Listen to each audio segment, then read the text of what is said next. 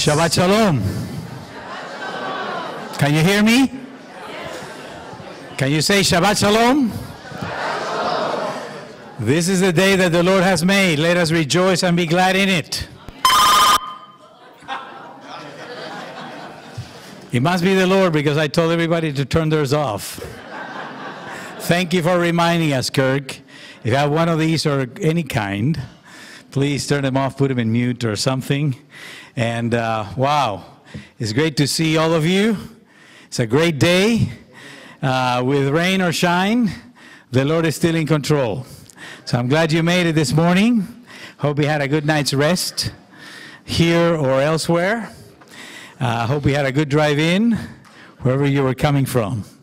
And uh, we're in for a great, great day with the Lord and with one another. Uh, this is Chosen People Ministries Haverim Conference number 20. So we are we're excited to be part of this. Uh, I have uh, this is my fourth one actually, and uh, I, I'm I'm encouraged. I've met some people that have been here for many years. Uh, and I also met today and last night many people that are here for the first time. So that's always encouraging. So if you're here for the first time, I just want you to raise your hand so that we have an idea. Wow.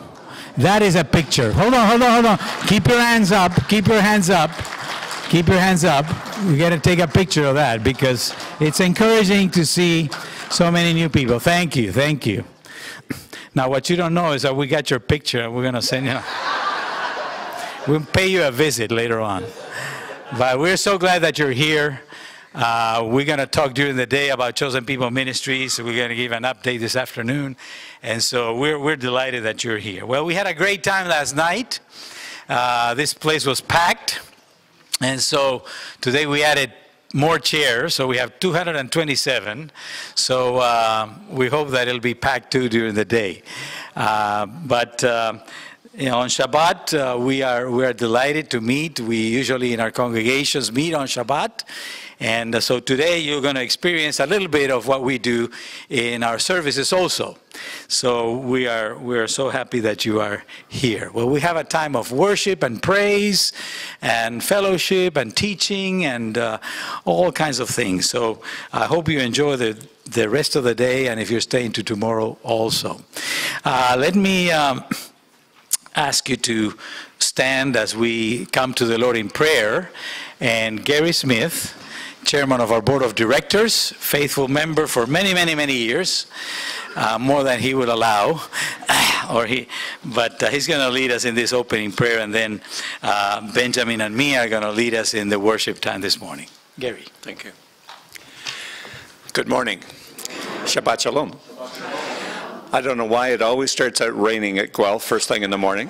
But as soon as, as uh, our, our speaker is finished with his meeting, the sun is going to come out. We're going to have a wonderful time together. Okay, let's go before the Lord in prayer this morning. Lord, we welcome you to this meeting this morning, and we know that you are with us, Lord, because you have said. And as we've already studied this morning, Father, your, your promises are always true.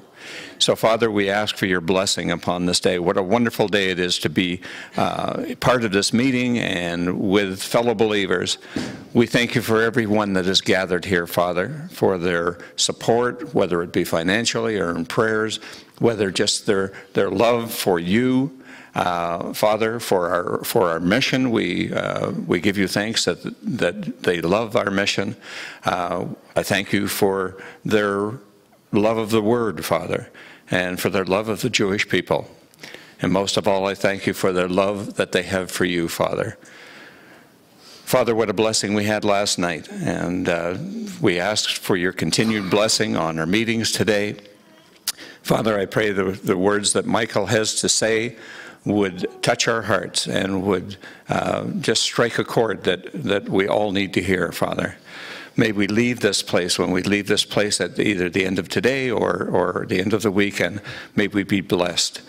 And Father, may everything that we say and do during these meetings uh, be uh, to your glory and be pleasing to you, Father.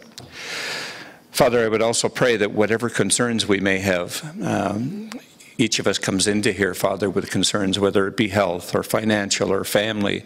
Father, I would pray that we just turn them over to you at this time for this whole day, Father, so that anything that we do would be just a blessing between you and us, Father. May we just relish this time together and enjoy this time together and forget about the concerns that we might have until we go back after the week. Father, uh, I, I just uh, play, pray that our fellowship would be sweet and that we would just make new friends here that would be everlasting. Father, help us to understand more about your word. And as Michael comes to us this morning, we would just pray that you would give him the words to speak, Father, that you want him to speak. I would pray that you give him the understanding of the words so that he's able to explain in more detail to us, Father, uh, what the scriptures say so that we may be more equipped uh, to present our faith to fellow believers or, or to new people that we're talking to. Father, I would pray that you uplift Benjamin and Mia this morning as they come to us and lead us in worship time. But most of all, Father, I would pray for your blessing on, on Michael as he brings us your word. Just bless him, Father, uh, and anoint him. Father, I pray for Jorge and the staff of Chosen People Ministries, both the missionary staff and the, and the office support staff. Uh, Father, I would prepare, uh, pr pray that you prepare the path for the mission to take. Uh, and Father, if we are racing ahead of you, I would ask you to slow us down. If we're about to do something that is wrong and that you don't want, that you would stop us. But Father, if we're doing what is right, I would pray that you continue to bless us the way you have been in the past. Okay, Father, uh, you are our God, and we are your people. We love you. We want to continue to serve you. We want to grow in, your, in our faith and so that it is deeper each and every day. So, Father, I would play, pray your blessing on this whole morning meeting and the rest of this day, that you would just speak to each one of us and bless us. Father, we love you and want to continue to serve you. And uh, we just ask for your blessing for us. In Yeshua's name we pray. Amen. declare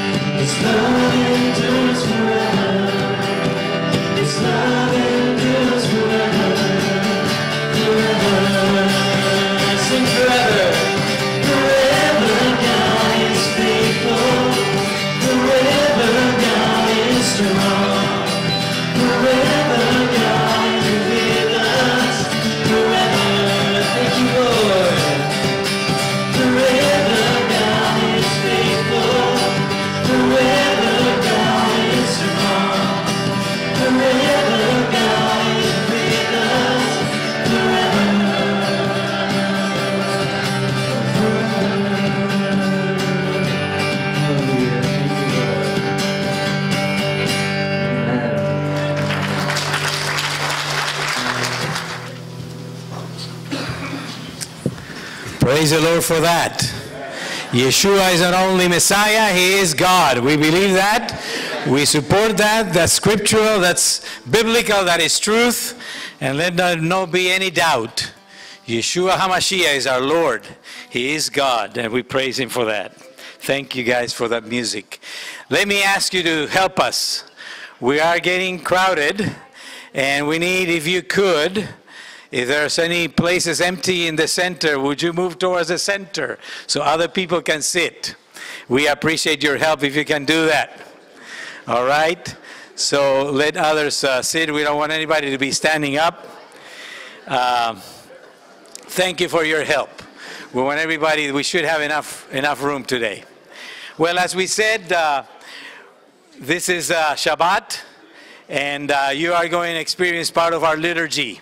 So Ben Volman, Director of Ministries in Toronto and uh, Messianic Rabbi of Kehilat Eitz Chaim, is going to lead us in this section. Ben. Shabbat Shalom and Shana Tova. It's the uh, new year of 5774, and we are uh, delighted. We're delighted to invite you into our congregation, in a sense, this morning, Kehilat Eitz Chaim, and uh, really Kumi Ori congregation in Hamilton are, uh, are here, and we are uh, joined together in in the common liturgy that we share, the, the Shabbat, as I was telling you last night, between uh, Rosh Hashanah and Yom Kippur, during these 10 days of awe, are truly meant to be times of reflection. These are times when we consider our standing before God.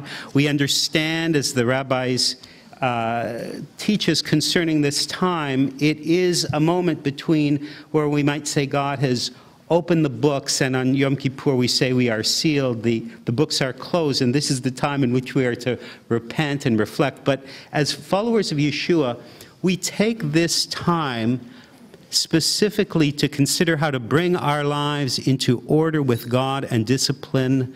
And this is a time of great reflection. And for, for each one of us, too, it's a time to consider what God has done. You know, we have a remarkable uh, reflection of God's multiplicity in our midst. You know, Benjamin's family is uh, Australian. Uh, our brother Ricardo's family, our Jewish family from Jamaica. Uh, Marcelo's family is from Ecuador. We have a remarkable multiplicity of what God has brought here uh, as uh, a reflection of his continuing grace, not only here, but as you're going to see today, throughout the world. God is moving, and we need to reflect on his presence so that we see, as somebody was just so wonderfully saying yesterday, let's see the big picture. Let's see the big picture of what God is doing. And as we reflect this morning, let us begin with the uh, confession of our faith. When we make our confession, we say God is Echad. We, he's not Yachid, that one thing. He, he's that multiplicity. He is Yeshua, Ruach HaKodesh. He is truly one, that true oneness of God's presence in our midst. We are, we're going to stand as we make our confession. You are facing east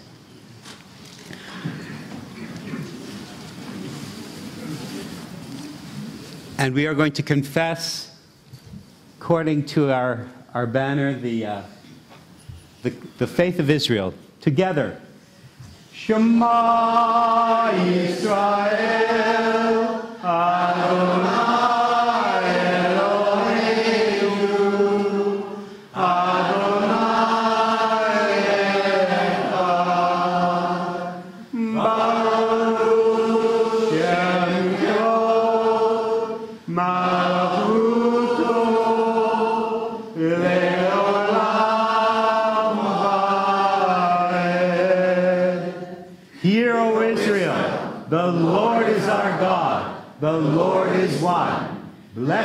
His name, whose glorious kingdom is forever and ever. Amen. Amen.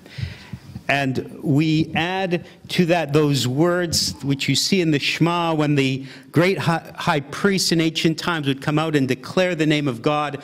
The people would bow down and say, Blessed be his name forever and ever. This is why we recite those words which follow the Shema and these words as well from Deuteronomy chapter 6.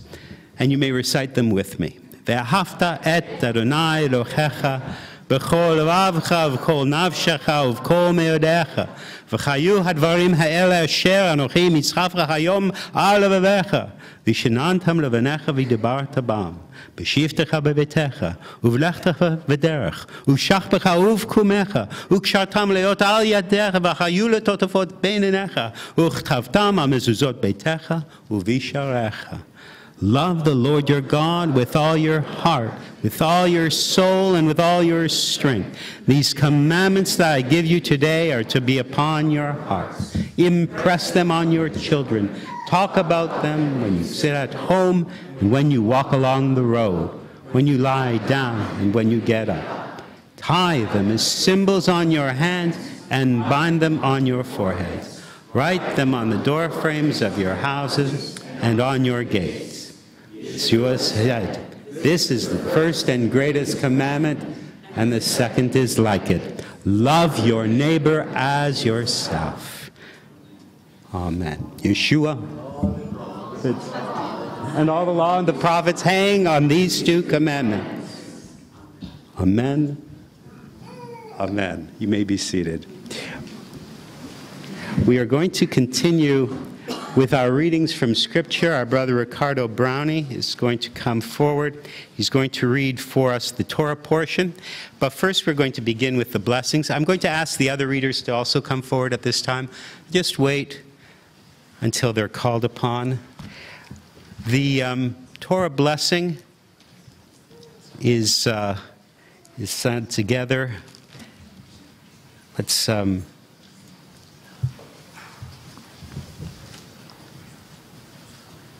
Let's prepare for the reading of the Torah. And as we recite these words, take them to heart. Do not simply recite them as rote. Baruch et Adonai hamavorach. Baruch Adonai hamavorach le'olam ba'ed. Baruch Adonai hamavorach le'olam ba'ed. Baruch ata Adonai Eloheinu melech haolam. Asher bachar banu mikol ha'amim. V'natan lanu et Torato. Baruch atah Adonai noten haTorah. Amen. Bless the Lord, the Blessed One. Blessed is the Lord, the Blessed One for all eternity. Blessed are you, O Lord our God, King of the universe, who has chosen us from among all peoples and given us his Torah. Blessed are you, O Lord, giver of the Torah. Amen. The reading today is taken as it's posted Deuteronomy chapter 31, beginning at verse 1 and reading to verse 13. Deuteronomy chapter 31, if you wish to turn there now. Ricardo. Shabbat Shalom.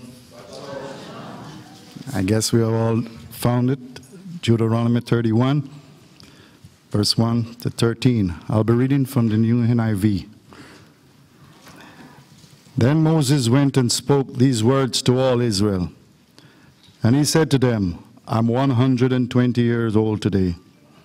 I can no longer go out and come in. Also, the Lord has said to me, You shall not cross over this Jordan. The Lord your God himself crosses over before you and he will destroy these nations from before you, and you shall dispose them. Joshua himself crosses over before you, just as the Lord has said. And the Lord will go do to them as he did to Sihon and Og, the kings of the Amorites and their land, when he destroyed them. The Lord will give them over to you that you may do to them according to every commandment which I have commanded you. Be strong and of good courage. Do not fear, nor be afraid of them. For the Lord your God, He is the one who goes with you. He will not leave you nor forsake you. Then Moses called Joshua and said to him, In the sight of all Israel, be strong and of good courage, for you must go with this people and people to the land which the Lord has sworn to their fathers to give them, and you shall cause them to inherit it. And the Lord, He is the one who goes before you. He will be with you. He will not leave you nor forsake you. Do not fear, nor be dismayed. So Moses wrote this law and delivered it to the priests, the sons of Levi, who bore the ark of the covenant of the Lord, and to all the elders of Israel. And Moses commanded them, saying, At the end of every seven years, at the appointed time in the year of release, at the, the feast of tabernacles, when all Israel come to appear before the Lord your God in the place which he chooses, you shall read this law before all Israel in their, in their hearing.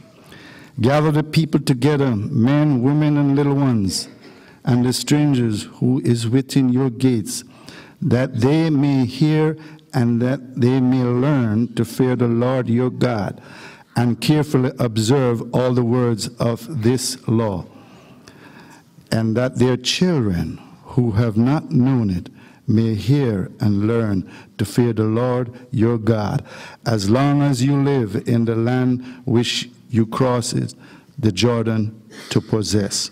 Amen.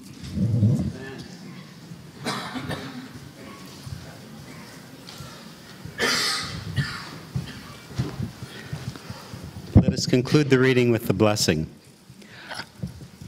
Baruch atah Adonai Eloheinu melech haolam asher natan lanu Torah temet v'chaye olam nata betochenu Baruch atah Adonai noten ha-Torah Amen. Blessed are you, O Lord our God, King of the universe, who has given us a Torah of truth and has planted eternal life in our midst. Blessed are you, O Lord, giver of the Torah. Amen. Amen. The reading which follows from the Haftarah, that is the reading from the um, prophets, is taken from Hosea. And um, again, as I was saying, this is uh, a word of repentance. The, the name of the um, uh, of this uh, Shabbat, Shabbat Shuvah, is taken from Hosea, who speaks of repentance as we read in chapter 6 yesterday, but distinctively, this is the passage which is read in the uh, synagogue at this time and at this hour and on this day. Marta.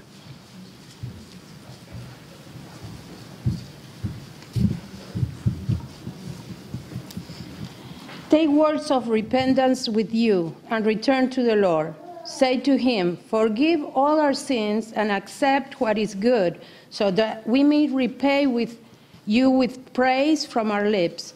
Assyria will not save us. We will not ride on horses, and we will no longer proclaim our gods. To the work of our hands, for the fatherless receive compassion on, in you.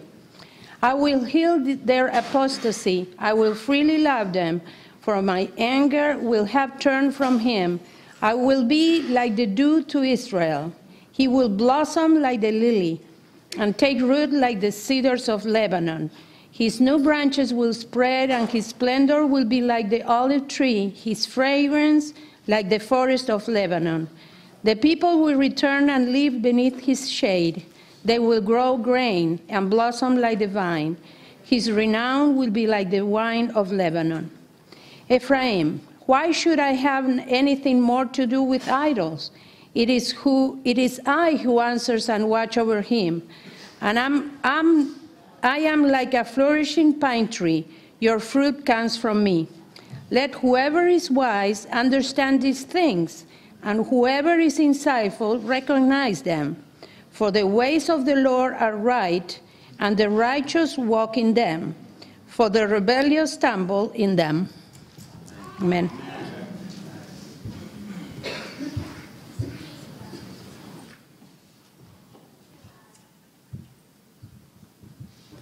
And now a reading from the Brit Hadashah, the New Covenant. Let us read before that the blessing.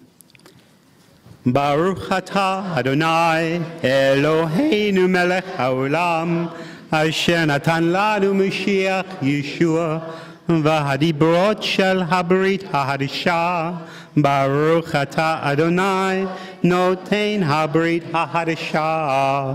Amen. Blessed are you, O Lord our God, King of the universe, who has given us Messiah Yeshua and the teachings of the new covenant. Blessed are you, O Lord, giver of the new covenant. Amen. The reading from the Brit Hadashah today, Hebrews, or the book to the, or the letter to the Messianic Jews, chapter 13. So you will be turning to Hebrews or Messianic Jews, chapter 13, beginning with uh, verse 1 and reading to verse 8. Hebrews chapter 13. We're going to ask our friend and brother, John Knox, to come forward and bring the reading for us.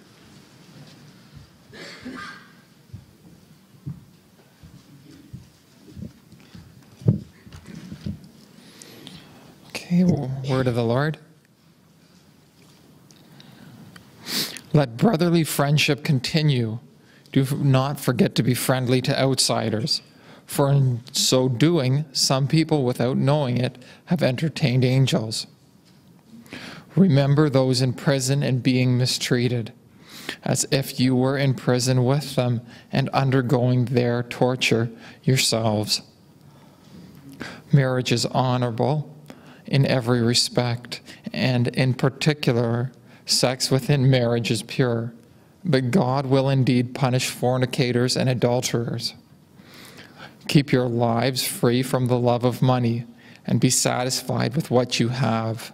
For God Himself has said, I will never fail you or abandon you. Therefore, we say with confidence, Adonai is my helper. I will not be afraid. What can a human being do to me? Remember your leaders, those who spoke God's message to you. Reflect on the results as of their way of life and imitate their trust. Yeshua the Messiah is the same yesterday, today, and forever. Praise be to God.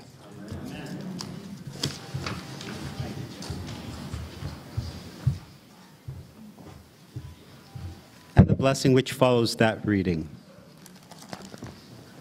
Baruch atah Adonai Eloheinu melech haolam asher natan lanu hadavar emet v'chaye olam nata betochenu Baruch atah Adonai noten ha-brit hadashah Amen.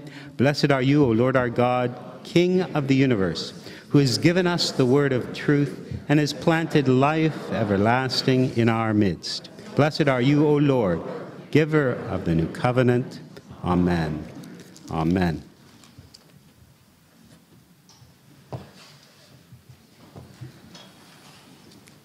I was glad when they said to me, Let us go into the house of the Lord. Our feet have been standing within your gates, O Jerusalem.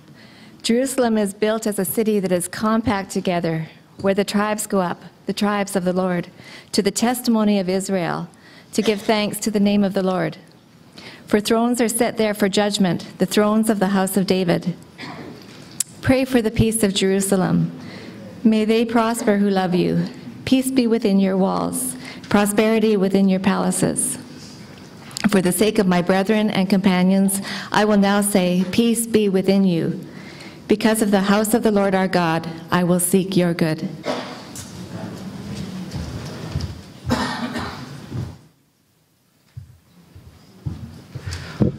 Again, we're privileged to have uh, Michael Rydelnik with us. I, um, I know that many of you were introduced to him last night as a professor of um, uh, Jewish Studies at Moody Bible Institute and adjunct professor at uh, uh, uh other schools as well, Dallas Theological Sem Seminary, etc., where, where he studied, etc., etc. I promised Michael I wouldn't say anything like that. The truth is, the truth is that uh, I've known Michael, of course, for many, many years, and he is a colleague. He is not. Um, He's not one of those exalted colleagues, and I have a number of them who, who gain PhDs and suddenly turn into something else. He is exactly what he has always been. He is a missionary at heart. He is someone who has taken those words of James, who says, Don't just be hearers of the word, but do it.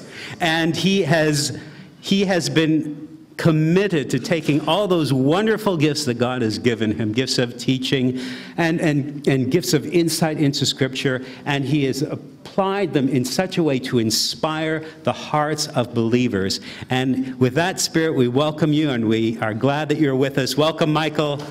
We're blessed to have you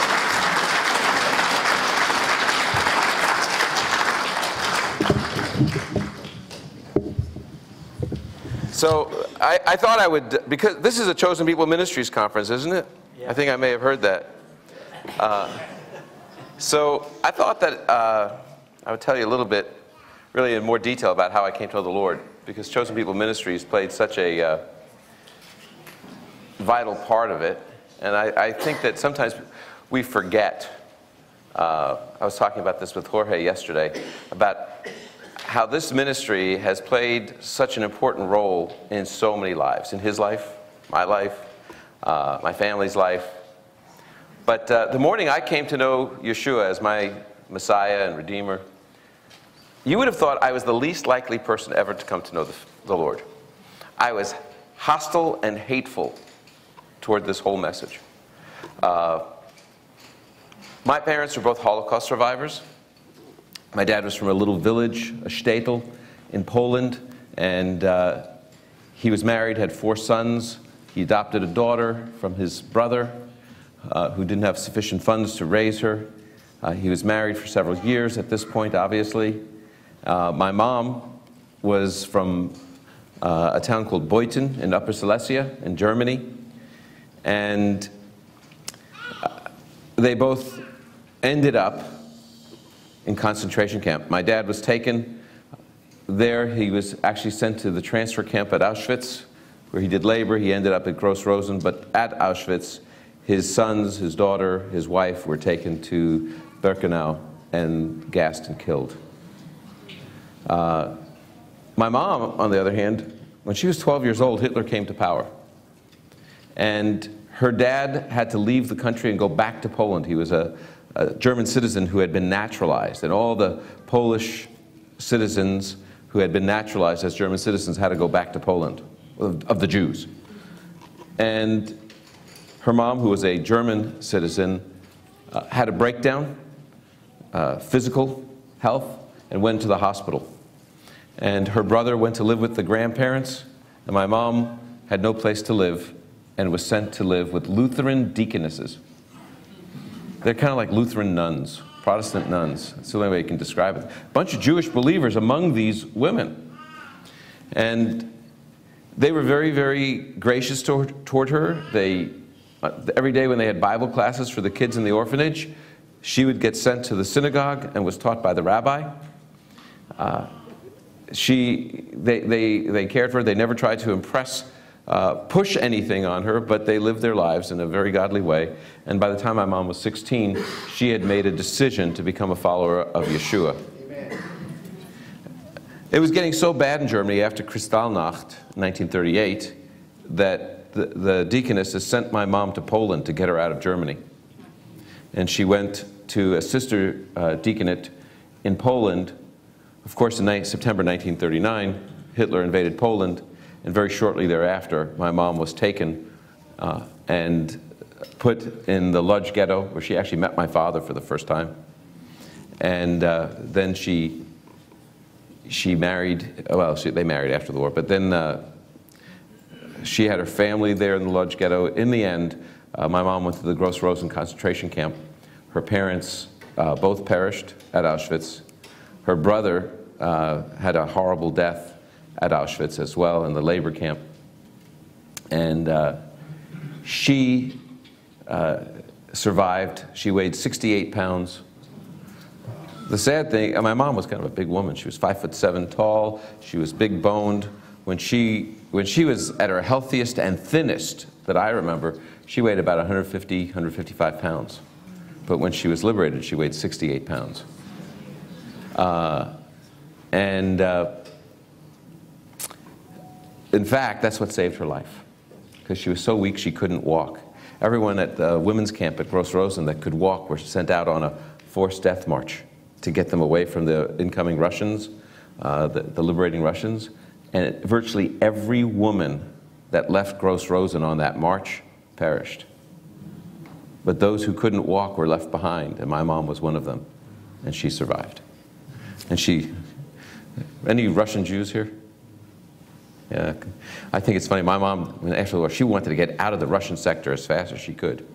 But she had prayed that God would bring the Russians to deliver her, to, to liberate her. And I said, why the Russians and not the Americans? She says the Americans were too wealthy. They would give them chocolate and everything they had to, to the survivors. And my mom was a nurse, and she said, I knew that that would be very bad for the, for the prisoners.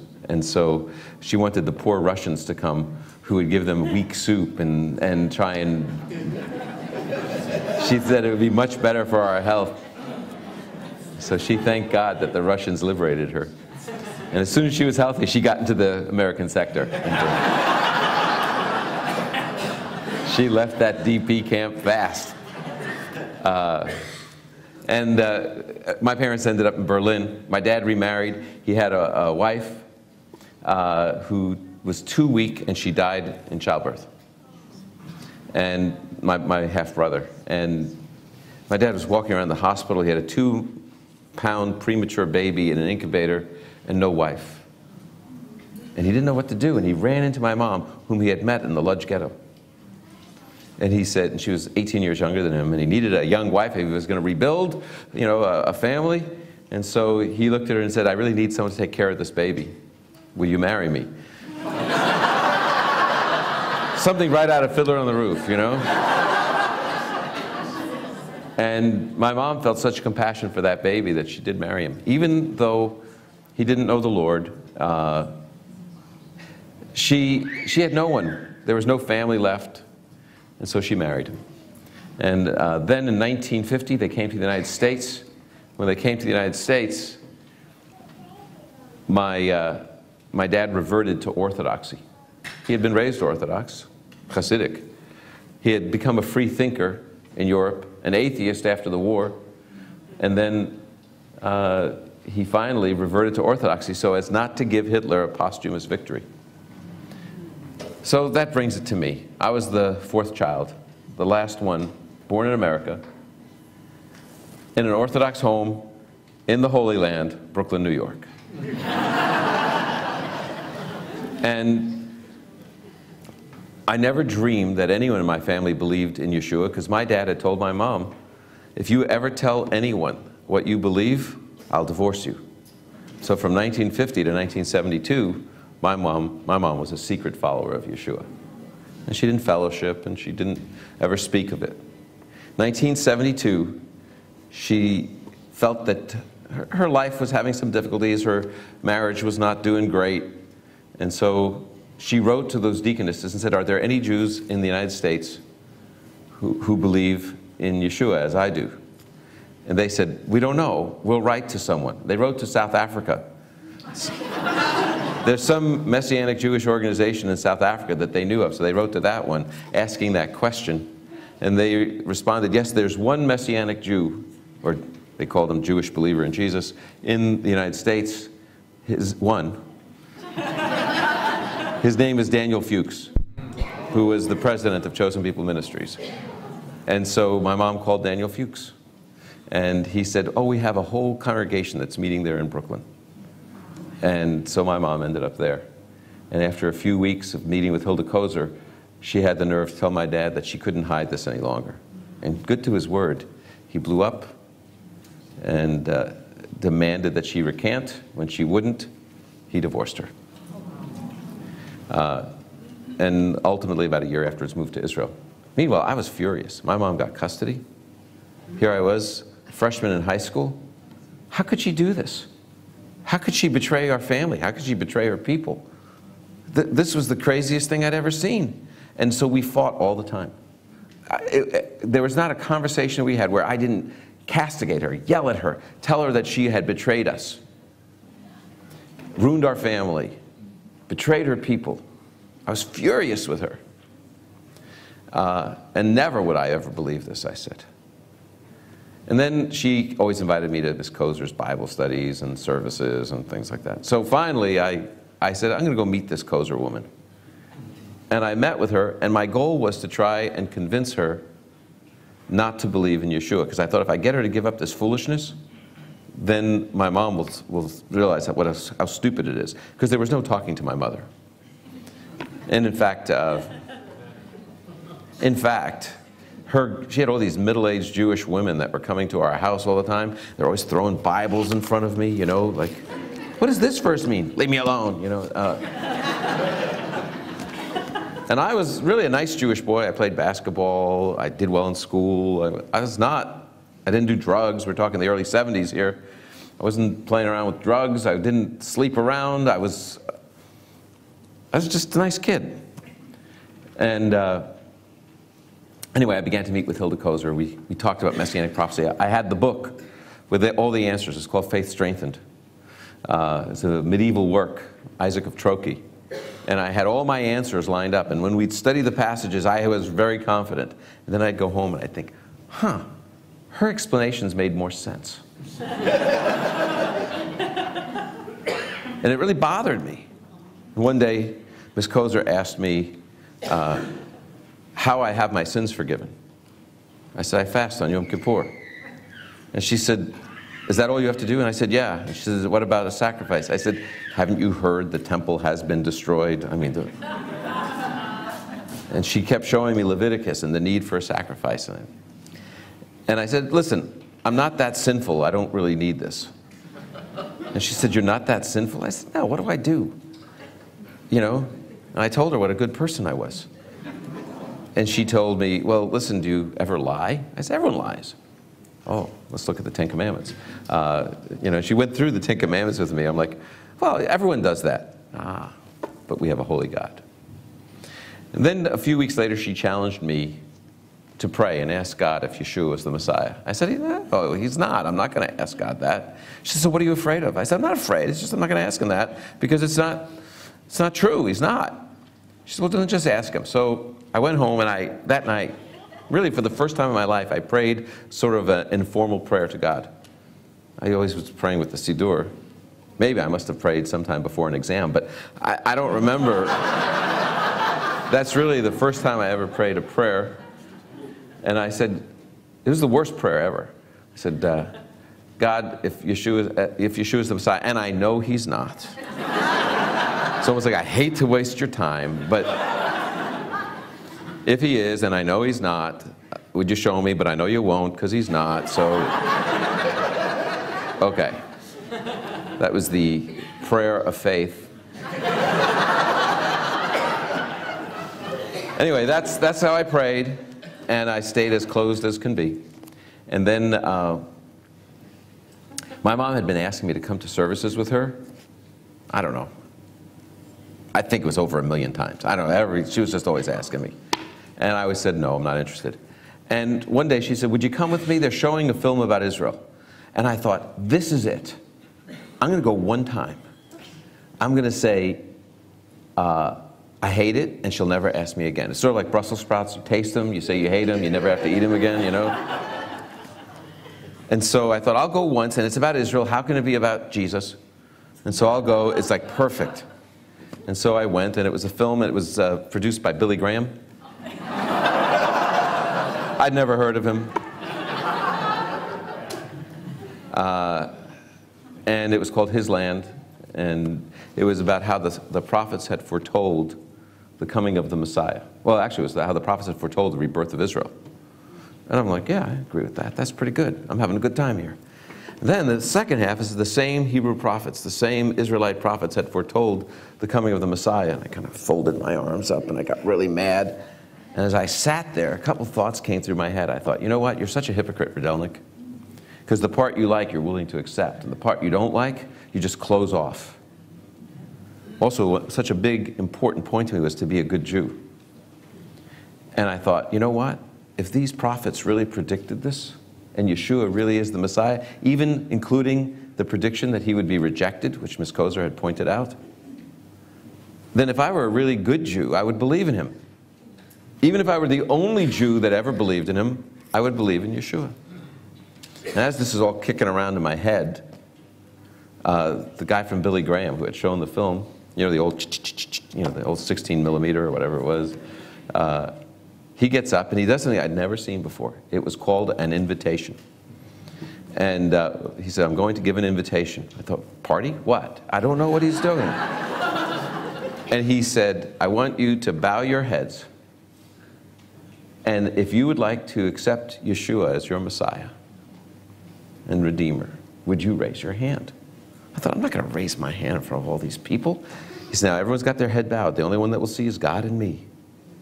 And I, yeah, but I'm still not going to raise my hand in front of this thing. This is the craziest thing I've ever seen. I don't want ever, anyone ever to know if I believe this. I don't believe this. I'm not going to believe it. I'm really. I was, I was actually quite surprised to see my hand. I was really surprised. And I thought, what am I doing? And the guy says, I see that hand. And I'm like, I got to get my hand down quickly. And anyway, I had my hand up, and, my, and no one was supposed to know. It was just me, this guy, and God.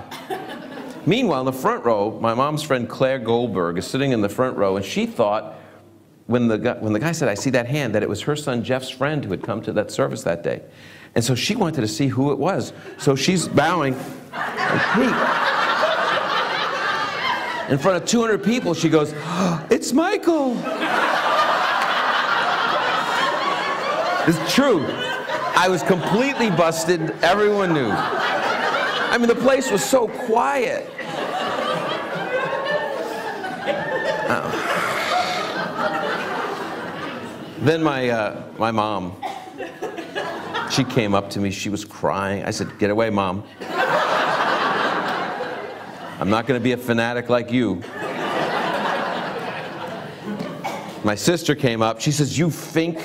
It was her first time there, but she had been very close coming to know the Lord. Each time I, I forced her to back out of it. And uh, she said, You rat fink. That afternoon, she went to lunch with Miss Koser and she became a believer.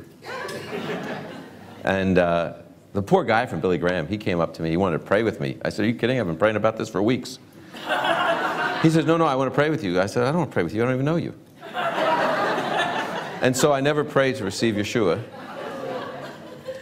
Because there's nothing in the Bible, by the way, that I, afterwards, that says you need to pray to receive Yeshua. The Bible says that we are saved by God's kindness through faith, through trust. And I believed. Not much, but I did believe. I did. And uh, so that was the, uh, the day. Miss Koser came up to me. She had a Bible for me. I said, What's this? She said, It's a Bible. I said, I have a Bible. She said, What kind of Bible do you have? I said, What's it's got a silver cover, it's got a lot of stones on it, it's Hebrew. She said, No, no, one with the New Testament. Oh my. And she gave it to me. It was in a foreign language, it was in Elizabethan English. Uh, King something, I don't know. Uh, but anyway, that was, that was the day I came to the Lord. And I definitely was not going to be a fanatic. And I told, I, I actually was talking about this with a friend of mine, really close friend. I said, but don't worry, I'm not going to be a fanatic like my family, like my mom. I'm not going to do that. And uh, I got a phone call from one of the youth group there at the congregation. Uh, and it was uh, a guy named David called me up, and he invited me to Bible study that Wednesday night. And I'm like, eh, not really interested, not going to be a fanatic like you guys. You know, I, I think Yeshua is the Messiah, but mm, that's about it. And, uh, and he kind of asked me some questions, and I really did believe. I just didn't want to be too fanatic about this whole thing. And, and he said, But I really hope you'd come. And I said, Well, who's going to be there? What, what else would a high school student? So he's telling me about some of the people I had met the previous weekend. I said, Well, there was a pretty cute girl. Strawberry blonde, Jewish girl, uh, uh, named Marlena. Is she going to be there? And he said, Yeah. I said, okay, I'll come. now, Marlena, I didn't know at the time, was his girlfriend. he never said a word. He just said, sure, come on. Now, I don't know really what became of David, but Marlena lives in Texas and is in ministry. And uh, I'm still in touch with her, thank God for Facebook, but that's a long time ago. But anyway, so uh, uh, she, uh, I went to the Bible study, had nothing, you know, I got there, I kind of figured out really quickly by the holding hands that that girl was not someone I could talk to about. So we studied the Bible, 2 Timothy 2.15, study to show yourself approved unto God as a workman that need not be ashamed, accurately handling the word of truth. That was the Bible study we had that night. As I listened to the Bible study, I was sort of taken aback. Uh, because this is saying that we need to study God's Word the way a workman is who's not ashamed. My dad was a furniture maker, a cabinet maker. He was never ashamed of his work. He had actually retired officially, but he did a lot of freelance work. And people would come to our house and he'd show them the kitchen table he made and the, the cabinets he had made and chess sets he had made and chess boards and all these beautiful things to show what kind of craftsman he was. And he would say, this is my kind of work I do. If you're interested, you, you can hire me for your job. And uh, I thought, wow, God wants me to handle this book the way my dad handled a piece of wood. And I was just in awe of that, that that's what God wanted of me if I was a follower of Yeshua. And so I thought, okay, I'll study the Bible. And it'd be a really good idea to teach the Bible to people, especially to Jewish people who don't believe in Yeshua. And so it was like from that point on, I began to read the Bible and study the Bible and try and get through high school as fast as I could so I could go to Bible school. And uh, the Lord brought, uh, my dad disowned me for becoming a follower of Yeshua, and there was a lot of stories I could tell you, which I won't, about him bringing rabbis to see me, and really kind of funny stories too. Uh, I became somewhat infamous in Brooklyn with the Jewish Defense League as being a ringleader uh, of this new revival, these mess this Messianic Jews in Brooklyn. And in fact, just there's a, a story of my high school experience in the book, The Messianic Hope. Now, The Messianic Hope is a technical college textbook, honest. It's not popular. Uh, people have read it, they said to me, you know, people who have some training, they'll, they'll read it and they'll say, oh, good book. But people who don't look at me and say, I struggled through that book because it's a technical book. But the last chapter just tells a story about an experience I had in high school of sharing the gospel. And it was not a good experience, but it is a story of my high school. So uh, don't read it, just stand at the back table there. Don't buy the book and read the last chapter. I actually think it's a pretty important book, but uh, that last chapter is the best part of it, I think. Uh, and it's really understandable. So anyway, that's, uh, that's how I, the, my dad disowned me, and I didn't know. It's kind of hard to live without a dad. And there was a Chosen People Ministry staff worker uh, who had no children, a Moody graduate, and uh, his name was Dan Rigney. And he basically became my surrogate dad. He discipled me, he taught me the word, uh, he took me everywhere with him. I spent a lot of time at his house in Baltimore. Uh, and uh, even when he changed ministries, he stayed like a dad to me. Till, in fact, that, that book is dedicated to Hilda Koser and Dan Rigney, uh, that Messianic Hope book. And I got to tell him about dedicating the book. The book was, I had a pre-publication copy. I read him the dedication. I said, I'm mailing you a copy right away. He said, no, no, no, I'm going to see you in a few weeks. We were going to meet some, at this uh, place in the Adirondacks. And he says, don't worry, just bring me a copy then, don't mail it. And then he had a heart attack about a week later and passed away. But at least I got to read him the dedication. So, But the Lord brought us this wonderful, godly man who made me go to Moody. I went to Moody, he said. You'll go to Moody. So I went to Moody Bible Institute. Uh, I actually was thinking about other schools. He kept saying, yeah, yeah, but go to Moody. So I ended up at Moody, and I'm very grateful to God. Uh, it's changed my life as well, not just as a student, but then having to teach them for 20 years. That's been a great privilege for me. So, uh, but that's, I, and I served with Chosen People Ministries and uh, love this ministry. Uh, my other sister came home from Israel to get me out of this group She came to know the Lord through Chosen People Ministries at a, at a Queen's Bible study uh, in the garage at Hollis, if you remember the old building, if you ever heard of it. And uh, it's, uh, I have to say that I met my wife working as a camp counselor at Chosen People Ministries camp. Uh, we worked together with Chosen People Ministries as college students. I have to say, everything about my life since I've come to know the Lord and just before has been framed by relationships with this ministry. And uh, I, I can't, even now, I don't work with Chosen People for 20 years. But my students go on and many serve with Chosen People Ministries. I get to do volunteer work with Chosen People Ministries. Uh, my kids have done summer ministries, and uh, in fact, my uh, younger son is going to be at the dedication of the building next week doing filmography for, for it. So uh, it is a remarkable thing to have a long-term relationship. I'm, Mitch Glaser and I have been friends since 1974.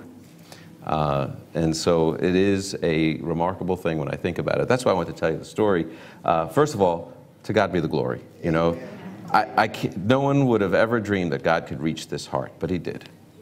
And uh, not only that, He's used this ministry in a great way. Uh, it's, a, it's a fantastic instrument uh, in His hands.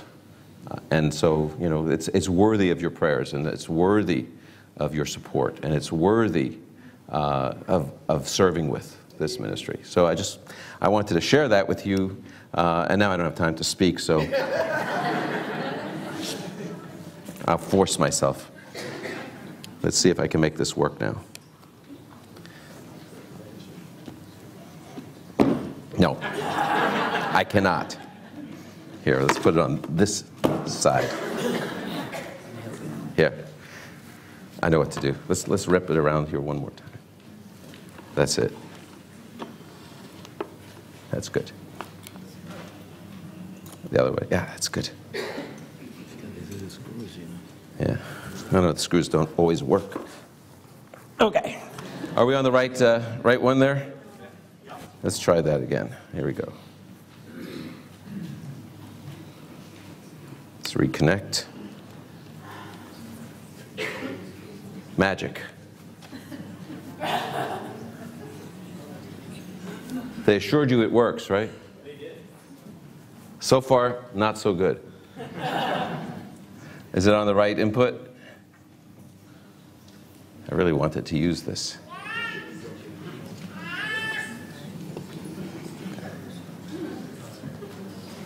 Is it plugged in there?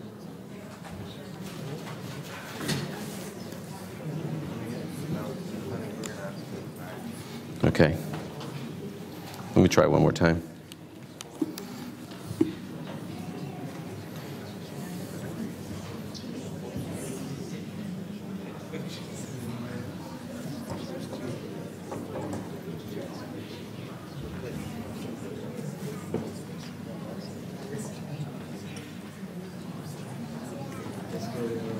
You want to take it? I think we're gonna have to take it. Just try and unplug it, plug it back in one more time. Okay. The other jack.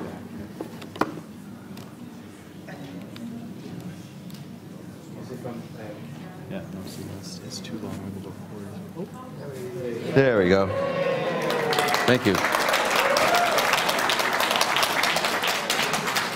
No color. It's actually blue on this. I don't know why there's no blue, but I'll show you. Ready? But it'll do. Okay. Ah, okay.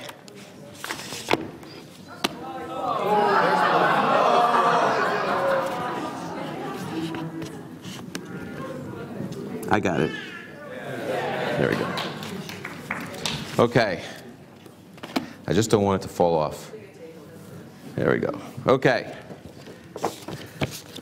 Now, some of you may have heard about the Camp David meetings between Yasser Arafat, Ariel, uh, no, Ehud Barak, not Ariel Sharon, Ehud Barak, and President Clinton.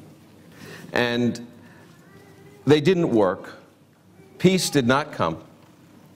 Uh, although they came very close. Israel offered first 93%, then 95% of the West Bank, all of Gaza, to the Palestinian Authority. Uh, they offered shared rule of Jerusalem, and they offered uh, uh, limited return of Palestinians to reunite with families in Israel proper. And uh, many people have said that was the best offer Arafat would ever receive, and he rejected it. There's three reasons he rejected it. One, he wanted a full right of return, which would mean the destruction of Israel as a Jewish state. That would never happen. The second was he did not want a final uh, end to the conflict. He wanted an incremental, because you see, if you keep incrementally making negotiations and without a final end to the negotiations, you ultimately can uh, and it's the, called the salami approach. You slice off a salami, slice, slice, slice. Pretty soon there's no salami. And that's what he wanted to do. And uh, Barak insisted on a final end to the conflict. And the third thing was Arafat absolutely refused shared governance of Jerusalem. Jerusalem was the issue. The Palestinian Authority wanted Jerusalem as the capital of their new state and they were insistent on that. So those are the issues that caused the, the negotiations to break, of which, which one was central of the three? One of them was, one of the three central issues was Jerusalem. And so that's when uh, Arafat returned. Most people aren't aware of this. He gave an order at that point to look for a pretense to start a war with Israel, a terror war. And of course, when Ariel Sharon wanted to take a walk on the Temple Mount to state his political conviction that this should always be part of Israel, always part of the capital of Israel, uh, what happened was uh, he, he applied for and received authorization from the Waqf and the Palestinian Authority to take that walk on the Temple Mount. Meanwhile, the Palestinian Authority, under Arafat's orders, gathered up stones onto the Temple Mount so that they could use the walk that Sharon was taking up there as the pretense to begin throwing rocks down at uh, Jewish worshippers at the temple on the Western Wall uh, to uh, prepare for Rosh Hashanah. And that's how the terror war began in the year 2000. Uh, it was a pretense, and it was all about Jerusalem. Uh, in fact, Palestinians call that uprising the Al Aqsa Intifada. That's their name for the Temple Mount. It wasn't about Al Aqsa, it was about Jerusalem. And it was intended to be so, and it was planned. Jerusalem is at the center of just about everything that we see when we talk about the Arab Israeli conflict. And so, this is the city. That's the place. It was from over here that they threw rocks down at the worshippers. That's the Tower of David.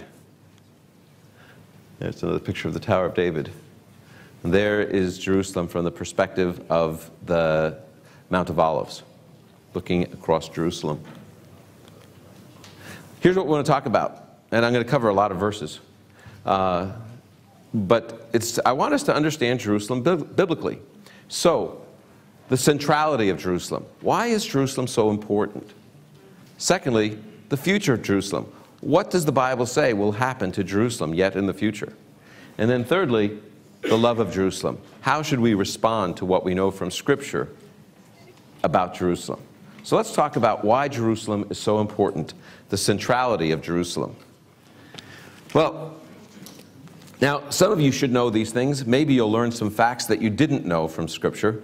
But first of all, Jerusalem was the site of the offering of Isaac. In Genesis chapter 22, it says that God told Abraham to bring his son Isaac and offer him as a sacrifice. And of course, that's called the Akedah in Hebrew. It's one of the most pivotal issues in the, the history of the Jewish people and of Abraham's uh, career as the patriarch. And it says, Take your son, he said, your only son, Isaac, whom you love Go to the land of Moriah and offer him there as a burnt offering on one of the mountains I will tell you about. Well, the mount is Mount Moriah, and that's the mountain upon which the temple sat, and today where the, the Dome of the Rock sits. That's so famous.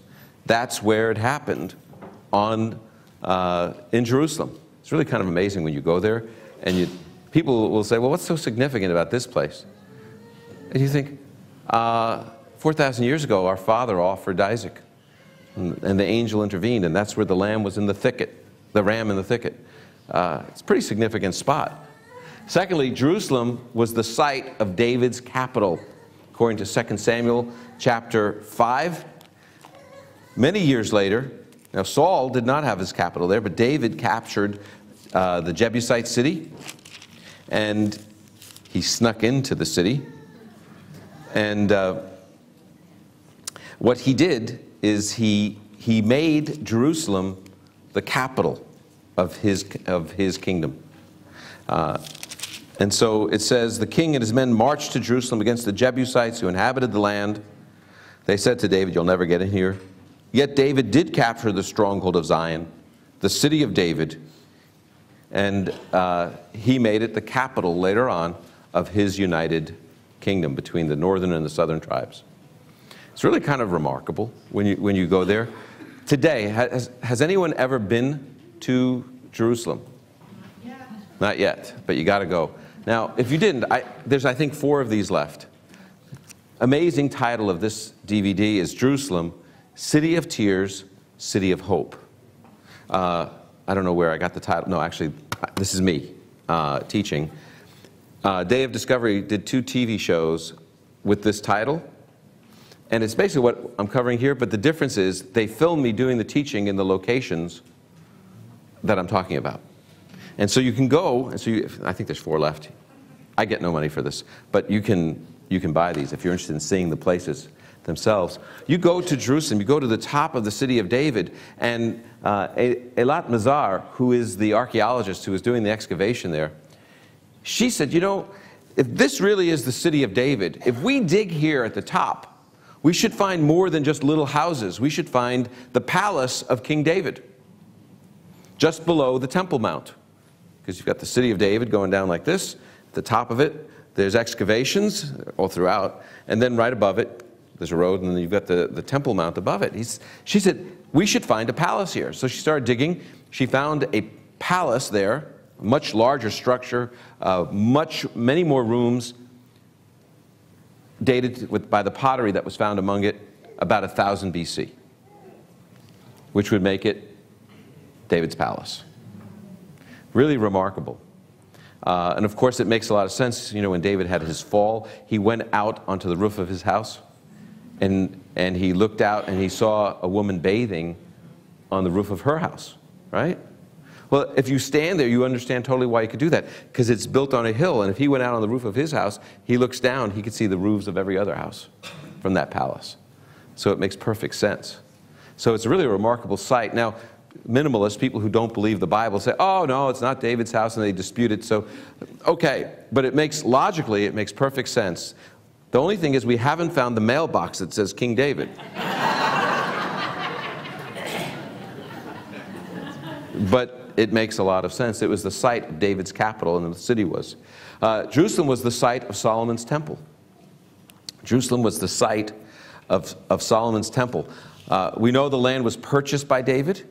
He bought it so that he could create a temple there, build a temple there. He knew that he couldn't do it, so it was built by his son. It was built by Solomon right there on Mount Moriah. And most amazing, the temple was inhabited by God. God said, This is going to, and Deuteronomy says, I'm going to choose the place where I'm going to be present. And when Solomon dedicated the temple, what happened? The Shekinah glory of God filled that place. When I go to Jerusalem, I often have, uh, I had a, a funny experience actually. I brought a group of about 40 Gentiles, 40 to 50 Gentiles. And I took them to the Western Wall. We went through the tunnels. And when they came out, I said, let me tell you why this is such an important place. And I kind of surveyed all the things that happened at the Temple Mount and what God had done there. And, uh, and, I, and they're not Jewish. And there, there was this really annoying, uh, most of the, the Orthodox Jews that are at the temple are quite nice, and all they want is your donation. They're fine. Uh, they come up, you're Jewish, yeah, give me money, fine. Uh, but there was one guy that was resentful that I brought Gentiles there. And so I took out my Bible and I said, I was talking all about the significance of this place. And uh, I read the part in Solomon's dedication uh, when he says that people from all over the world are going to come here, even those of the Gentiles, and they will pray to you here in this place. Uh, and so uh, here it is. I'll read you the verse. Uh,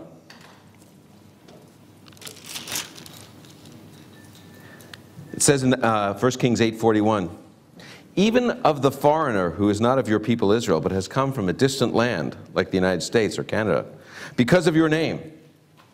For they will hear of your great name, mighty hand, and outstretched arm, and will come and pray toward this temple. May you hear in heaven your dwelling place and do according to all the foreigner asks for you. Then all the people on earth will know your name to fear you, as your people Israel do, and know that this temple I have built is called by your name. That's 1 Kings 8, verse 41 through verse 43. Now, I, I said, look, God expected this to be a sacred place for Gentiles as well. And this man who's standing here at the back of our group and annoying us, he doesn't understand it. And so he's resentful that I've brought you here. He gets kind of, I said, but I know why he's here. And uh, so just ignore him and, and believe God's word. This is even sacred for Gentiles. Well, they started heading back to the bus a little bit after that, and he came over and started yelling at me for bringing Gentiles there. And uh, I looked at him, I said, You think you practice Torah Judaism, but you don't even understand what this text is saying that the God of Israel is the God of the world. Amen. Uh, he's God of all. And you, you didn't understand this text. he got kind of mad and walked away. And it was interesting because I have a friend named Moshe who's right there in the Jewish quarter, who's a very observant Jew. And he came over to me and he said, Thank you for saying that. He said, because he doesn't understand Torah Judaism, because that's what you read is Torah Judaism. I thought that was really kind of a fun thing. Uh, and it's, it's amazing because it's supposed to be a sacred place, not just for Jewish people.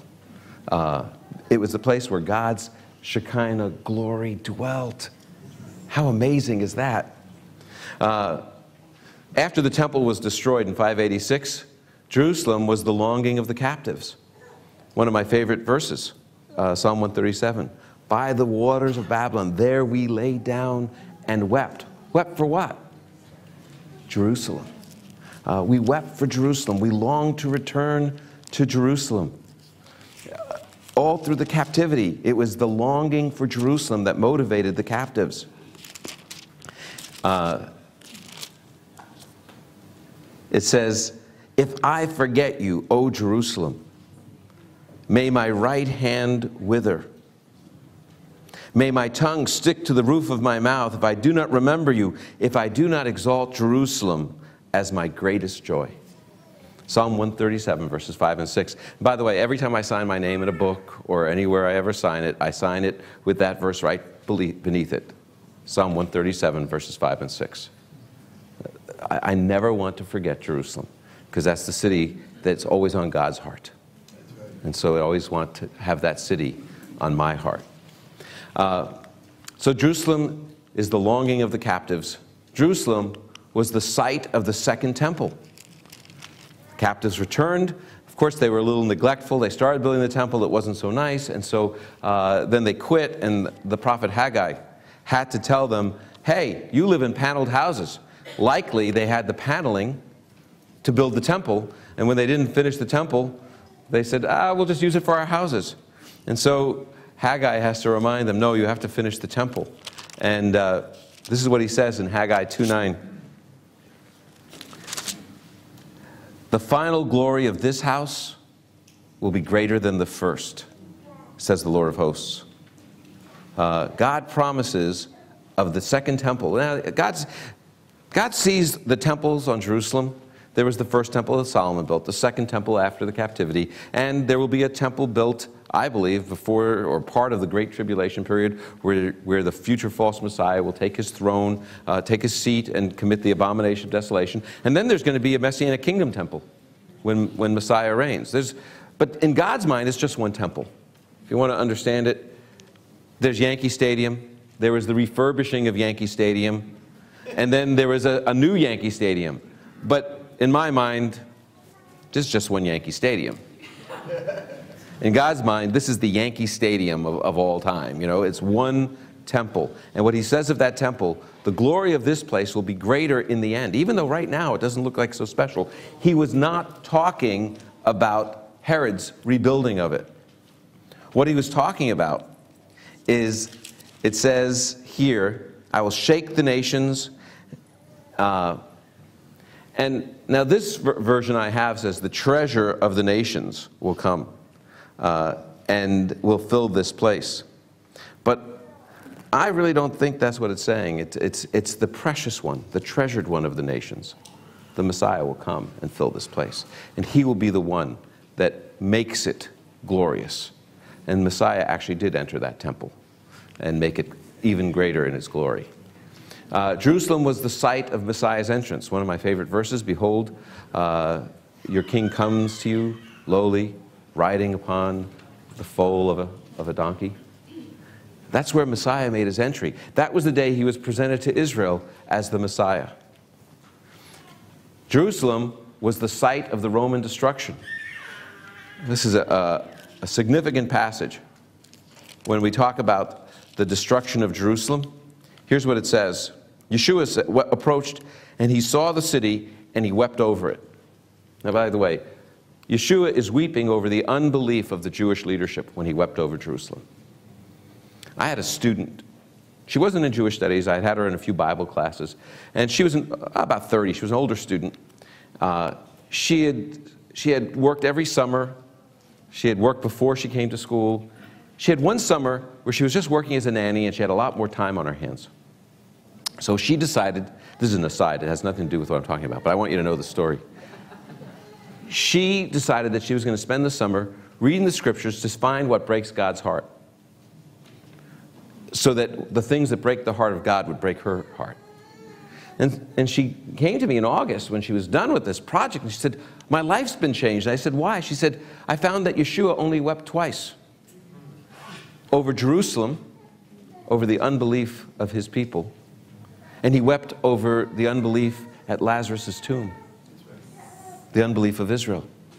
I know what breaks the Messiah's heart the unbelief of his people. And now it breaks my heart. And I'm going to give my life, she said, to let, my, let God's people know that Messiah has come, because that's what breaks my heart.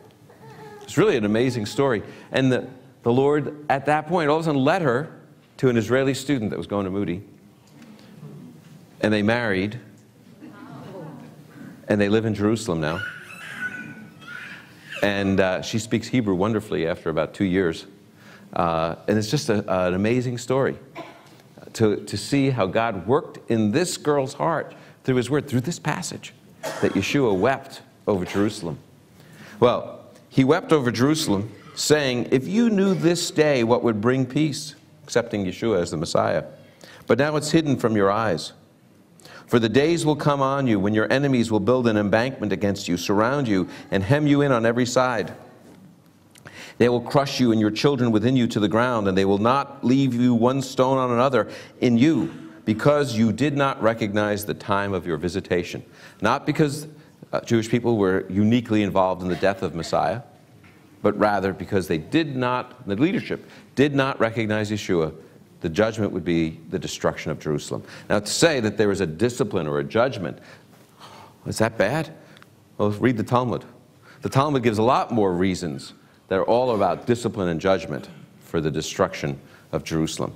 But this is the real reason failure to recognize the Messiah. And that's why the Romans destroyed it under God's direction. And then Jerusalem was the site of Jewish longing. After the destruction of the temple, Jewish people always prayed at the one uh, wall that remained. It wasn't even of the temple. it, it held the, the embankment that was, or the, the, what do you call it? That was the part that was built up, that Herod built up, that made a flat football field of the Temple Mount. And there's a wall, a retaining wall. And that's where Jewish people prayed, on the western wall. And they prayed there so much in this little alley for generations that it, their weeping caused it to be called the Wailing Wall. The wall is not wailing, it's been, it's been cleared, and there are Jewish people freely praying there. Uh, but it's always been the heart and longing of the Jewish people. In all the places we've been scattered, you know, traditionally, Jewish people always leave, in the diaspora, we leave one little part of our homes unfinished because we know we have to return. That's the tradition. Every celebration, we break something like a glass at a wedding, or why? Because we remember the destruction of Jerusalem and we want to return. It's always been the longing of the Jewish people. Uh, at, Yom Kippur, at the end of this, the service, and on Passover, at the end of the Seder, we sing next year in Jerusalem. It's always been the place of Jewish longing. When Chaim Weizmann was asked to testify at the UN uh, investigation about what to do about Palestine in 1947, uh, the, the Special Committee on Palestine, they asked, they looked at him and they said, Dr. Weizmann, by what right do the Jews claim Palestine? He said, memory is right. We never forgot Jerusalem. It's been the longing of the Jewish people for 2,000 years. The land of Israel, the Midrash says, is at the center of the world. Jerusalem is at the center of the land of Israel and the temple is at the center of Jerusalem. It's the heart of all Jewish longing. Well, I want to, we have to spend about five minutes to finish this up. Let's talk about the future of Jerusalem. What does the Bible say will happen in Jerusalem? Jerusalem will be the center of the world's attention. It says that in Zechariah uh, chapter 12, that Jerusalem will become the focus of everything that's going on in the world. Have you noticed that anything that happens in Jerusalem is news? I think it's, they say if it bleeds, it leads, but I don't think that's true. I think it's, if it's Jews, it's news, is what I would say. it's amazing, you know, there, there's things that happen, bombs blowing up in Iraq. Does anyone hear about it? Something happens in Jerusalem, everyone hears about it. Here's what uh, Zechariah 12:2 says Look, I will make Jerusalem a cup, of, a cup that causes the staggering for the peoples that surround the city. On that day, I will make Jerusalem, verse 3 says, a heavy stone for all the peoples. All who try to lift it will injure themselves severely when all the nations of the earth gather against her. Jerusalem is going to be the focus of world attention. Why do you think the UN's, all these different issues are coming up? What are they talking about? Jerusalem. Uh, it is moving more and more to that place where it will be the center of the world's attention. Jerusalem will experience a temporary peace. We talked about this last night. There's going to be a future false Messiah who will make a covenant with Israel. And that's why it says in 1 Thessalonians 5:3, everyone will be saying what? Peace, peace. It's a false peace because it won't last. After three and a half years, he'll break that covenant. But Jerusalem will indeed experience a temporary peace. Jerusalem will have a rebuilt temple. Yeshua talked about that one day there'll be an abomination of desolation in the temple. That wasn't Titus. He was speaking about that future tribulation temple. Paul talks about in 2 Thessalonians 2 4 how the man of lawlessness will take his seat in the temple. People say, what, How will that temple be built? Think about it. You got the Dome of the Rock, you've got the mosque up there. How you, the Al Aqsa Mosque? How will they build a temple? I'm going to tell you how the temple will be built. Are you ready? I don't know.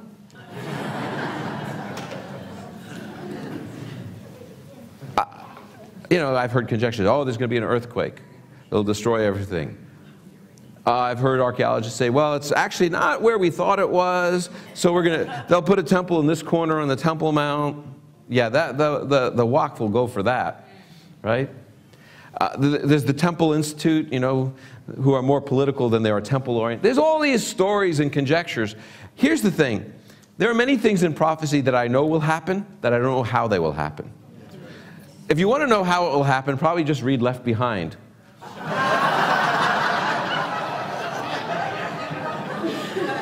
But that's just conjecture. It's just conjecture. We don't know how it will happen. We just know that it will indeed happen. Jerusalem will experience world war. Zechariah 14 says this I will gather, I want to make sure I read it right. I will gather all the nations against Jerusalem for battle. All the nations. What's going to happen is that the plain of Megiddo, uh, the valley of Jezreel, the nations will gather and they will march. They will muster there, and as part of the campaign of Armageddon, they will make their way to Jerusalem. And Jerusalem will be besieged. There will be all the nations of the future false Messiah gathering to come and march against Jerusalem, and they will besiege it. It will be Jerusalem against the world. A lot of times people say, well, how is that ever going to happen? Listen, were it not for the one nation with a Security Council resolution or a veto protecting Israel, how many resolutions would have been passed in the Security Council? How many times would they have had resolutions passed which would have authorized the nations to come against Jerusalem? It is why it's, and temporally speaking, why the United States uh, alliance with Israel is so important. If that is given up, that's given up. Who will protect Israel at the UN? The UN can authorize nations to come against Jerusalem. And I suspect that's what will happen. There will be, it'll be Jerusalem against the world. That's what this says. And then, I think because of that, Jerusalem will recognize the Messiah Yeshua. That's the time when our people will say, We need deliverance from on high. And just as the leadership rejected Messiah and led the nation to reject him, so in that day, the leadership will lead the nation to faith in him. And they will turn in faith to Yeshua the Messiah. The entire nation. And uh, Zechariah 12:10 says, Behold, uh, it says, they will look upon me. I will, first says, I will pour grace upon the inhabitants of Jerusalem and on uh, the, the house of David and they will look upon me whom they have pierced and mourn as one mourns for an only son. It will be great repentance. And by the way, if you want to know what the words of that repentance will be, get the Isaiah 53 DVDs because I believe Isaiah 53, 1 through 9, en- encompasses what Israel will be saying when they turn to Messiah. So Jerusalem will finally recognize Yeshua. And Jerusalem will become the seat of Messiah's glorious reign. Uh, the book of Zechariah, not a book that a lot of people read, in my opinion, but needs to be read more. Next to Isaiah, it's the second most messianic book in the Hebrew Bible. Zechariah 8:3 says this The Lord says this I will return to Zion and live in Jerusalem. How will he live in Jerusalem? Because the Messiah will sit on his throne there. Then Jerusalem will be called the faithful city, the mountain of the Lord of hosts, and the holy mountain. God will come and he will live in that city once more through his Messiah. And then it says, the Lord of hosts says this Peoples will yet come. The residents of many cities, this is verse 20, the residents of one city will go to another, saying, Let us go at once to plead the Lord's favor and to seek the Lord of hosts. I'm going also. Many peoples and strong nations will come to seek the Lord of hosts in Jerusalem. The Lord of hosts says this In those days, ten men from the nations of every language will grab the robe of a Jewish man tightly, urging, Let us go with you, for we have heard that God is in your midst.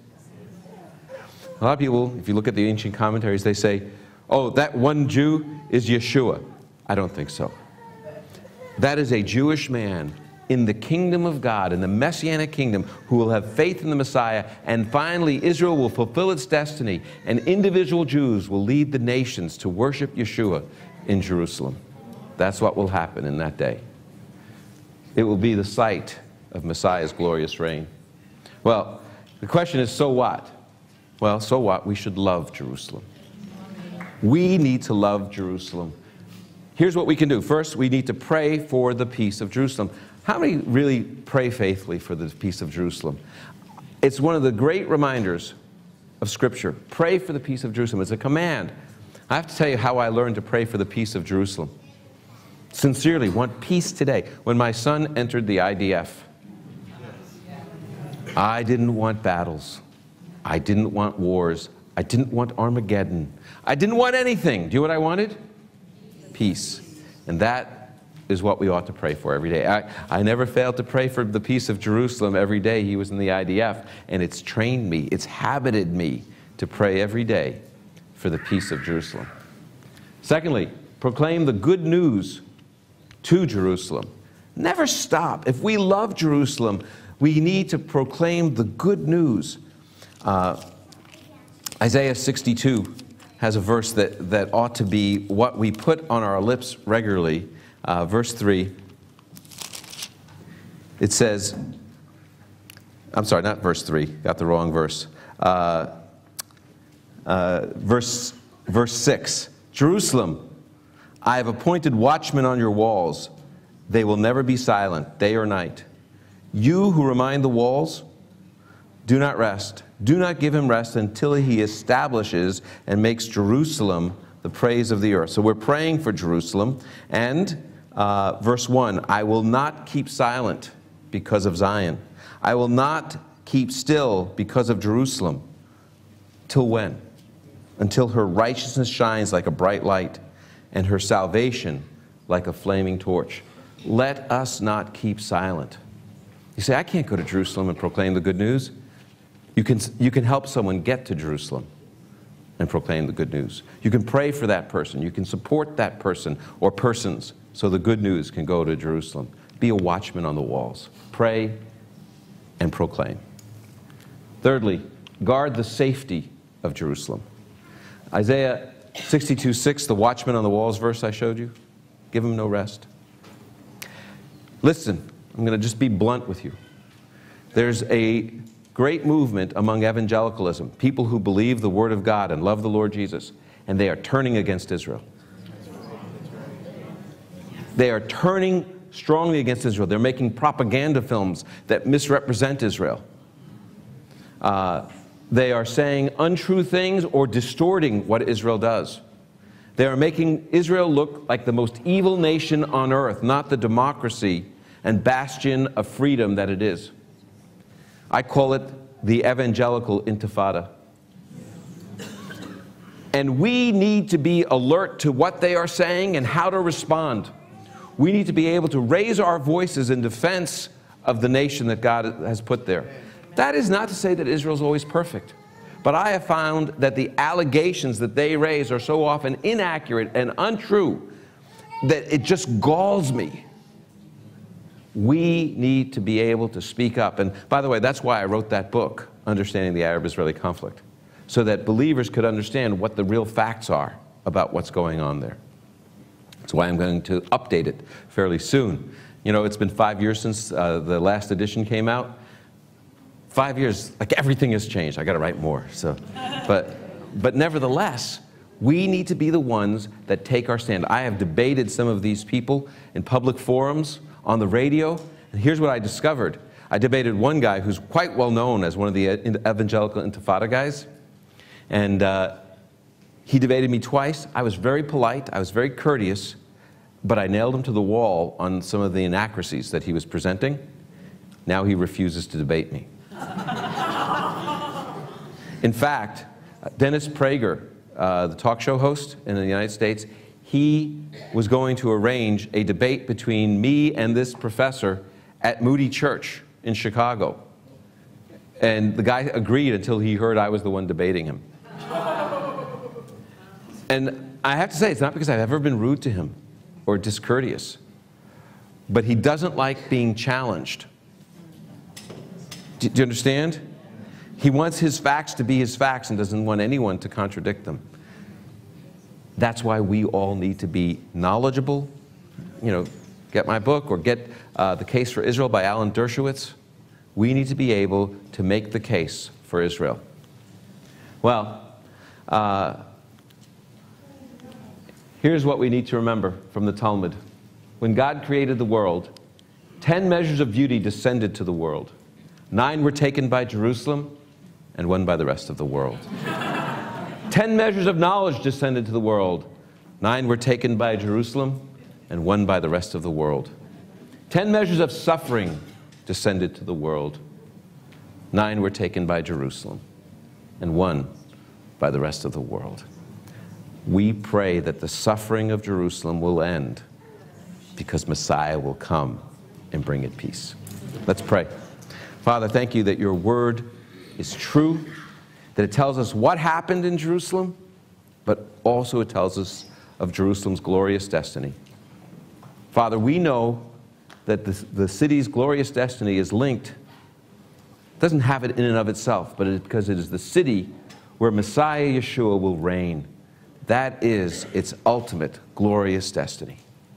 And thank you, Father, that he will indeed return and reign there. Till that day, make us watchmen on the walls, those who pray for Jerusalem and proclaim to Jerusalem the love of Messiah, but also protect Jerusalem with our speech and with our votes and with our emphasis to show your heart for your people in your city. We pray this in the name of Yeshua our Messiah. Amen. Amen. No clapping. No. Hate that.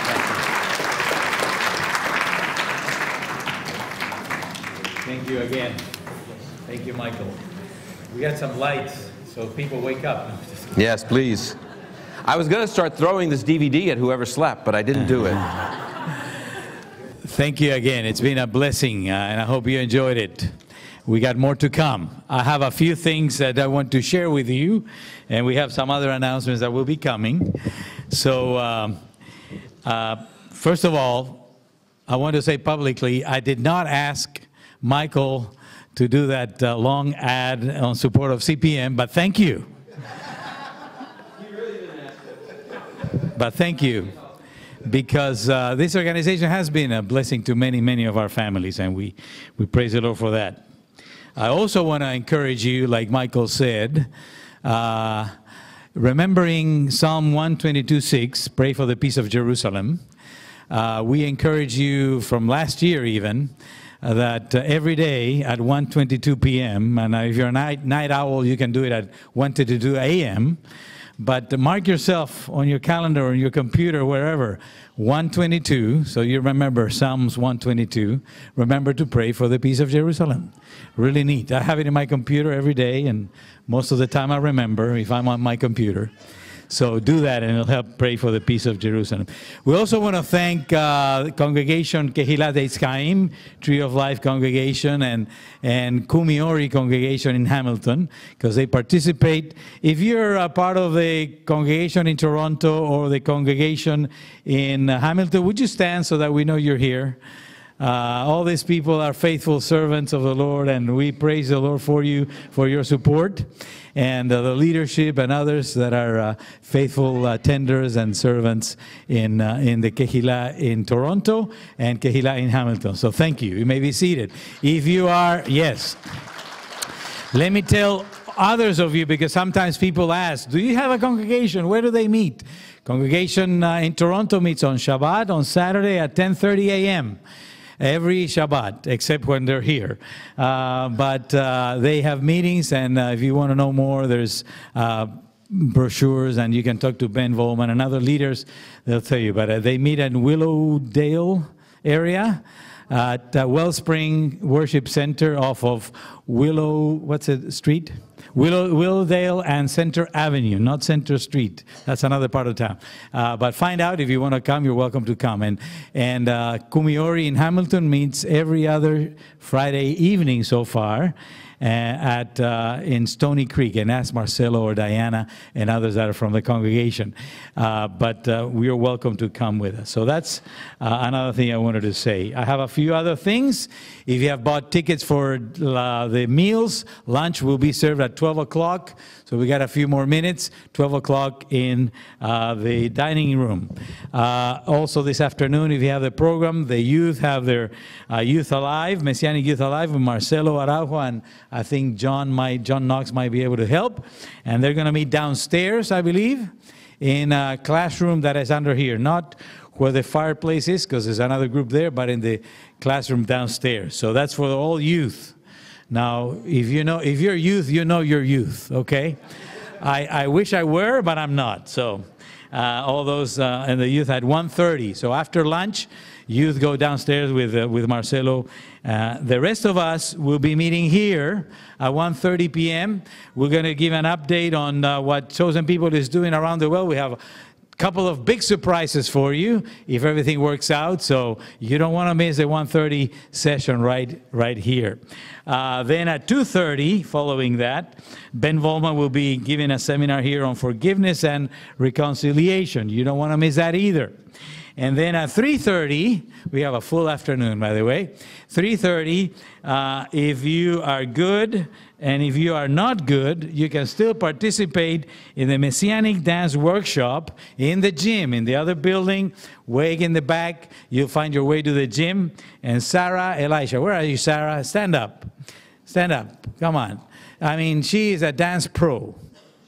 Yes, yeah, she, she's shy, but she's uh, she grew up in our ministry. She's uh, Luba's daughter, and uh, so we love her dearly. And uh, she's going to be teaching. I, I, told her if my knee is not acting up, I might be there.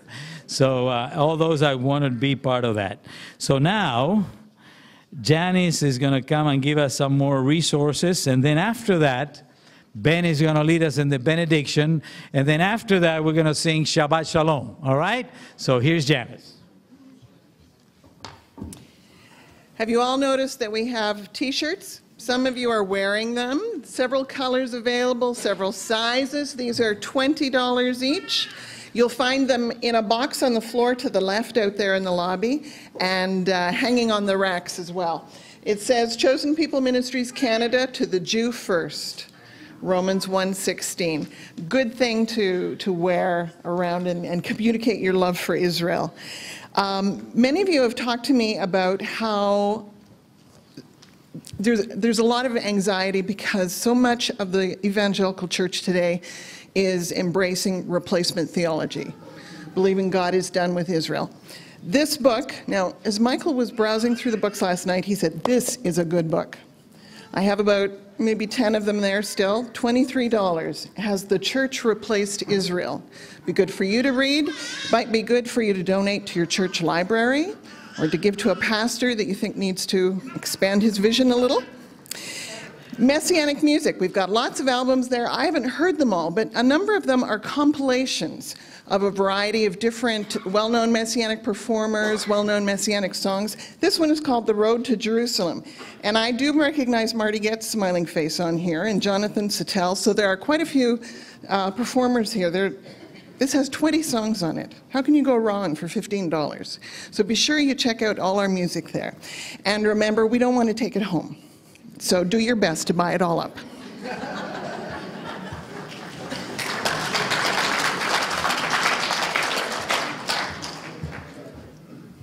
We've been blessed. Please rise.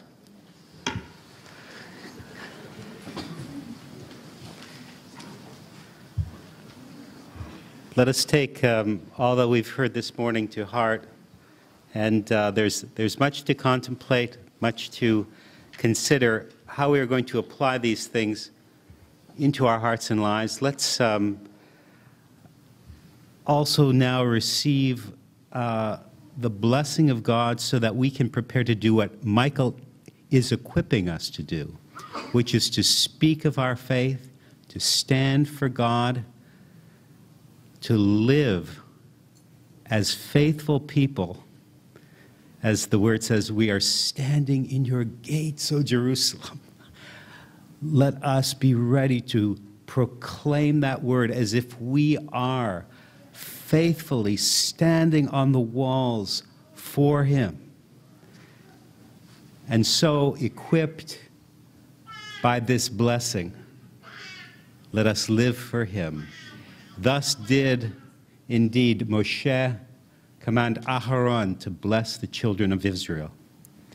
Yiderech Adonai v'yishmarecha V'yunecha Yis Adonai panav elecha V'yasem lecha Shalom the Lord bless you and keep you. The Lord make his face shine upon you and be gracious to you. The Lord lift up his countenance upon you and give you his peace. B'Shem Sar Shalom. In the name of Yeshua HaMashiach, our Prince of Peace. Shabbat Shalom. Shabbat Shalom. Go in his peace.